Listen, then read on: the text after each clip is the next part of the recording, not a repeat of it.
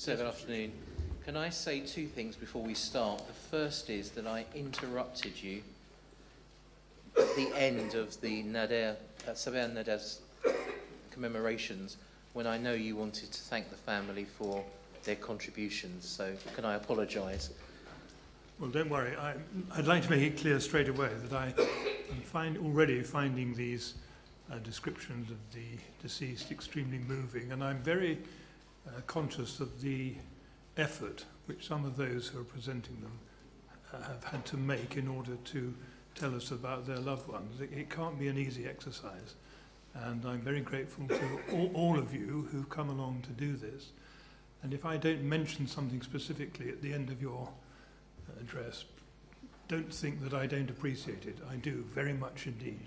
Thank you. So we are now moving to a commemoration for Joseph Daniels.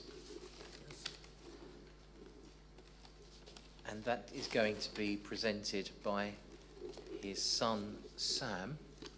Two things. Uh, the first is, I think it was flat 135 in which he lived. And secondly, that Sam has asked specifically that there be no applause after his presentation. Yeah. Thank you. My father, Joseph Daniels, moved to London in 1982, and Grenfell Tower had been his only home since then. The events of that night took his life and all trace of his existence in this world. He never stood a chance of getting out. It should never have happened. Thank you very much. Thank you. Thank you very much. Thank you.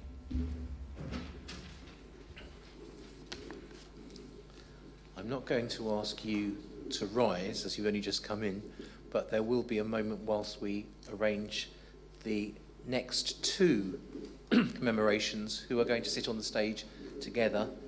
One is for Mary Mendy and the other for Khadija Saye.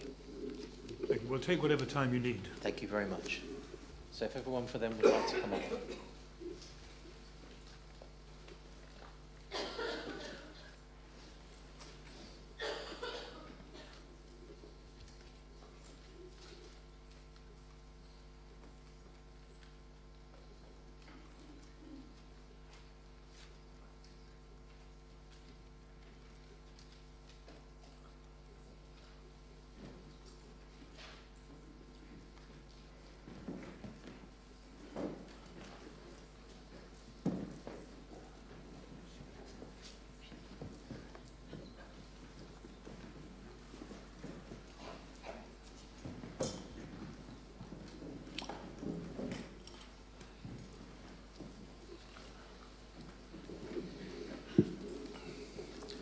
So uh, the commemoration for Mary Mendy, who lived in flat 173, is going to be presented by the solicitor for the family, Shakiratu Sanusi.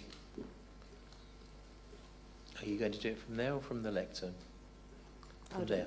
Thank you very much. Would you introduce who's on the podium with you? Betty Mendy is Mary's sister. Sorry, could you just pull that in front of you so we can hear you speak into it? Thank you. Yeah. Betty Mendy, she's Mary's sister. This is Brian Jackson, a friend providing her with support, and David Lammy, who is very close friends with Hadija. And of course, this is Marcia Willis Stewart. Thank you. I've been asked by people who manage the sound to ask you if you could put the microphone in front of you. So some, that's it perfectly. And that way we're going to hear everything that you say. Thank you. Thank you very much. Thank you. This is a statement for Mary Mendy, prepared by and being read on behalf of her sister Betty Mendy and Marion Telfer, her niece. Mary Ajayi Augusta Mendy was born in the Gambia on 11th June 1965. She was hardworking. She came to England in the 1980s. In 1992, she gave birth to Hadija, which turned out to be the greatest and proudest day of her life. Sorry to interrupt. I'm just going to ask you to pause to see if we can get the lights to come down just a little bit more. because they are beautiful photos and we'd like to see them.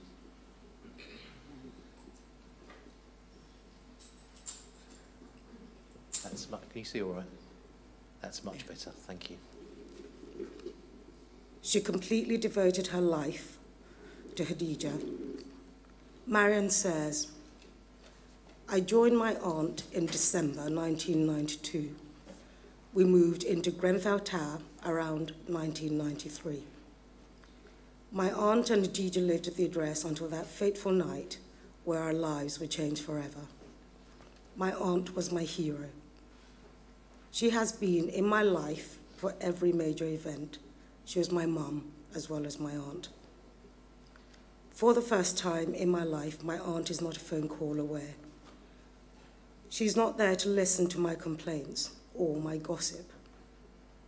My aunt made me, made me a priority in her life. She was the best aunt and sister we could have asked for. She was warm and kind. She welcomed everyone into her home. Grenfell Tower was a place all her family and friends could find shelter if they ever needed it. Mary Ajay Augusta Mendy was a carer who worked within her community. She was a humanitarian who made it a passion to help those less fortunate than herself. She frequently traveled to Gambia and offered donations to hospitals and other organizations. On the night of June 14, 2017, our family lost two much loved members. My aunt was the strong one, the fighter, and the protector. The pain is unbearable. There are no words to describe the emptiness that's in our hearts. Marion says, I hate night times because night brings silence, and silence brings tears of sadness, because that's when I start to remember the blaze of fire. There will be two empty chairs on the table for every birthday, Christmas, and New Year's, but they will forever own a position in our hearts. We will carry their memories throughout our lives, our children's, and our children's children. Although the pain feels like forever, it will soon be replaced by happiness. All of the tears will be replaced by memories of joy. Until we meet again. Thank you.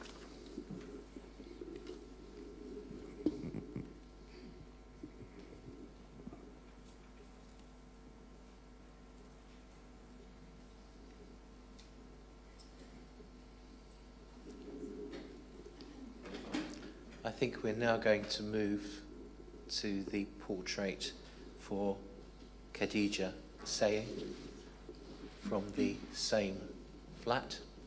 And I think, Mar- Marcia, you're going to present that. Dear Sir Moore-Bick, my daughter, Khadija Saye, was 24 years old when she lost her life in the Grenfell Tower, fire of June 2017. She was very gentle, very kind, and friendly. She was born in Hammersmith, London, in 1992. She attended St Charles Primary School and Sion Manning Secondary School, both in Ladbroke Grove, West London. She later went on to Rugby School in Rugby, Warwickshire, and the University for Creative Arts in Farnham to study photography. Her burning passion was photography, encouraged by her mother, Mary Mendy, who also lost her life in the same fire. Khadija said to me one day, Daddy, I'm in love with images. It was this passion that Khadija pursued to the end because it gave her great satisfaction and brought her some joy and happiness. Thank you very much. Yours sincerely, Mohamedou Saye. Now, Marcia, I think what's going to happen now is that there's going to be a piece of film two things. Firstly, could you just tell us what we're going to see? And then before it's played, I'm going to ask that the lights are actually dimmed. And I'll do that for all of the videos so that when they're played, we can get to see them in their best possible way. So what are we going to see? Oh, sorry. We're going to see a short video put together um, following the documentary that was to be aired. She'd been part of a group of artists that had gone to the Venice Biennial. And um, following the unfortunate events of the 14th of June, um, a short clip was put together celebrating her and her burgeoning career, as it were, at the time. And together with her family, it was discussed at length, and her father, um, that it would be appropriate to show that edited version because part of it was filmed when she was at home in Grenfell, and also it exhibited her talent and the poignancy of the development of a career shortly before all of that.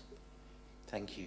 Well, I'm just going to ask that the lights perhaps be lowered a little more, and then once that's been done, we'll see the video. Thank you. May I take a seat, sir?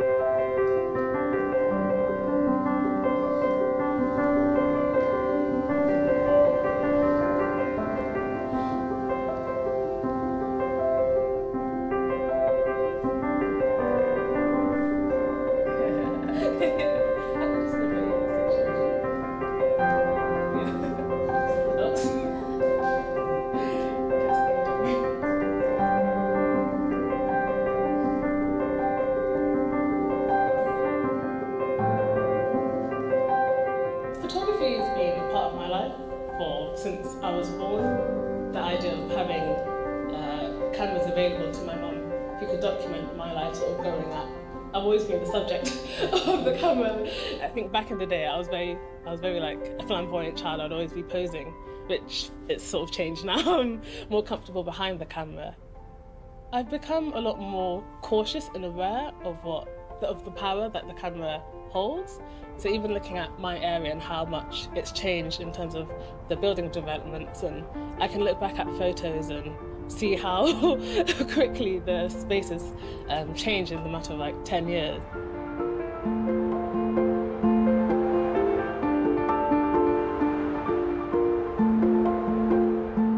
That was an extreme contrast to my area in Ladbroke Grove. So it was a big culture shock having to adapt to a very different lifestyle that I felt very much on the outside because everyone sort of grew up in this sort of like opulence and opportunities and the sky's the limit.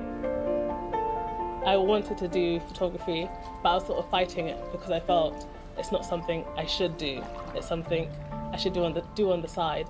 But having such supportive teachers that actually led me to pursue that, and uh, yeah, I'm very grateful to them because if not, I wouldn't be here.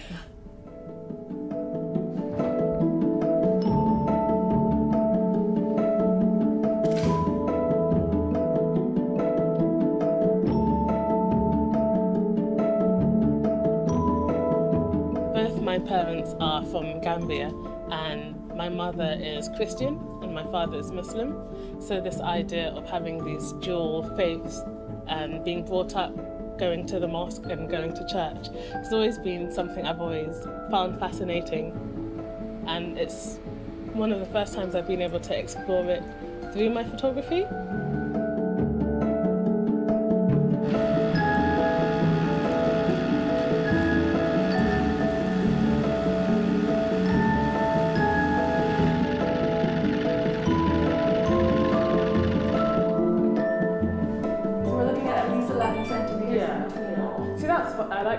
Waking up this morning was very strange because I just I woke up to people speaking Italian outside my window, and it just clicked. I was like, oh no, I'm not at home. I'm not in Ladbroke Grove anymore. And then one of my friends said, "You're an artist," and I was like, "I am now." It'll be a quite an emotional moment to actually say, Khadija, you've done it. It's you know you're you're up there, all this work and this um, emotional journey and self doubt and wanting to pack it in and it's going to come together and yeah, I I just can't wait really.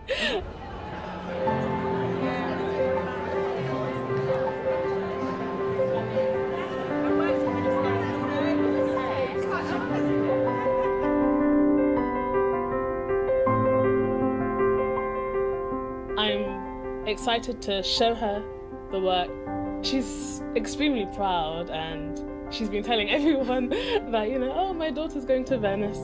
I'm not giving up here and she won't give up either.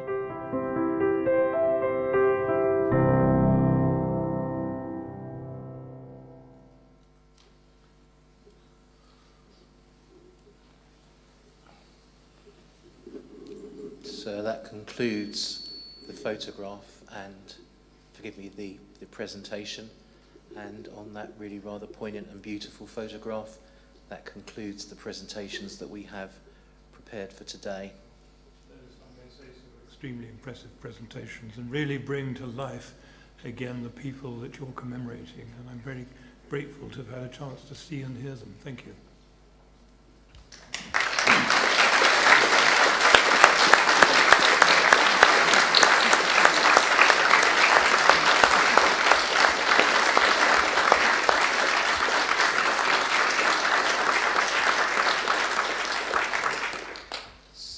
So that concludes the presentations we have today. If I may say firstly, there will still be tea and coffee available upstairs, and so please feel able to spend some time upstairs with each other having tea and coffee.